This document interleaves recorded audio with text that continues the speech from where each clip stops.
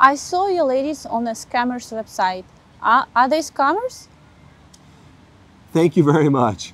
If you find one of our ladies registered on a notorious scam site, we thank you for letting us know uh, because it does happen, absolutely. Just so you know, every quarter we go through the whole database. We scour their social media. We do reverse image searches. We look for them everywhere.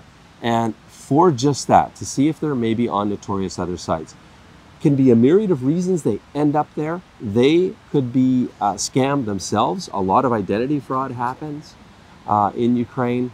Uh, I, have I've been involved in that and tried to get her removed from the scam sites. It's impossible.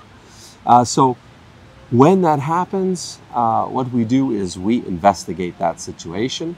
And if she's a scammer, we get rid of her, of course. And if there's a logical, you know, explanation for that, we try to help her out in, get, in getting her um, profile removed from the bad agency. So thank you. If you find that, email us and let us know and we will deal with it.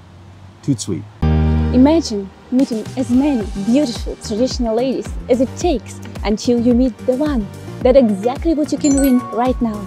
Just comment, subscribe and share. The winner will be announced live right here.